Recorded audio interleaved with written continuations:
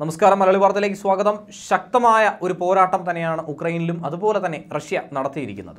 എന്നാൽ ഈ സാഹചര്യത്തിൽ ഉക്രൈനിലെ രണ്ടാമത്തെ നഗരമായിട്ടുള്ള ഖാർക്കീവിൽ ഇനി യാതൊരു കാരണവശാലും ഇന്ത്യക്കാർക്ക് ഒരു പോറൽ പോലും ഏർക്കില്ല എന്നുള്ള ഒരു ഉറപ്പ് തന്നെയാണ് ഇന്ത്യ നൽകിയിരിക്കുന്നത്. അതിന് കാരണം എന്തെന്നാൽ ഇന്ന് ലഭിച്ചിട്ടുള്ള ചെറിയൊരു ഇളവിന്റെ അടിസ്ഥാനത്തിൽ ഖാർക്കീവിൽ ഒരു ഇന്ത്യക്കാരും ഇനി അവശേഷിക്കുന്നില്ല എന്ന് കേന്ദ്ര വിദേശകാര്യ മന്ത്രാലയം ഉറപ്പ് വരുത്തിയിരിക്കുകയാണ്. നേരത്തെ തന്നെ നിരവധി പേർ അവിടെ കുടുങ്ങിക്കിടക്കുന്നു എന്ന തരത്തിലുള്ള വാർത്തകൾ പ്രചരിക്കുന്നുണ്ടായിരുന്നു.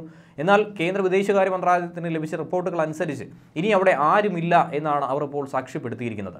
ഇനി ആരെങ്കിലും ഉണ്ട് എങ്കിൽ എംബസിയുമായി ബന്ധപ്പെട്ട് ഉടൻ തന്നെ അക്കാര്യത്തിൽ ഒരു സ്ഥിരീകരണം വരുത്തുക എന്ന് നേരത്തെ തന്നെ മുന്നറിയിപ്പ് നൽകിയിരുന്നു. ഇതിന്റെ അടിസ്ഥാനത്തിൽ ലഭിച്ചിട്ടുള്ള വിവരങ്ങൾ പ്രകാരമാണ് ഇപ്പോൾ ഇക്കാര്യത്തിൽ ഉറപ്പ് വരുത്തിയിട്ടുള്ളത്. ഇന്ത്യൻ വിദ്യാർത്ഥികളെയും സുരക്ഷിതമായ ഇടങ്ങളിലേക്ക് മാറ്റിയെന്നാണ് വിദേശകാര്യ മന്ത്രാലയ വക്താവായിട്ടുള്ള അരിന്ദം ബാഗ്ഷി വ്യക്തമാക്കിയിട്ടുള്ളത്. ഖാർക്കീവ് പിസോസിൻ എന്നിവിടങ്ങളിൽ നിന്നും അടുത്ത ഏതാനും മണിക്കൂറുകൾക്കുള്ളിൽ എല്ലാവരെയും പുറത്തു കടത്തും എന്നാണ് ഇപ്പോൾ അറിയിച്ചിട്ടുള്ളത്. അതോടെ ഖാർക്കീവിൽ ഒരൊറ്റ ഇന്ത്യക്കാരനും അവശേഷിക്കില്ല എന്നാണ് വ്യക്തമാക്കിയിരിക്കുന്നത്. ഇപ്പോൾ പ്രധാന ശ്രദ്ധ ചെലുത്തുന്നത് സുമിയിൽ തന്നെയാണ്. കാരണം ഇപ്പോൾ അവിടെ ആക്രമണം നടക്കുന്ന ഒരു സാഹചര്യവും ഒരു ഭാഗത്തുണ്ട്.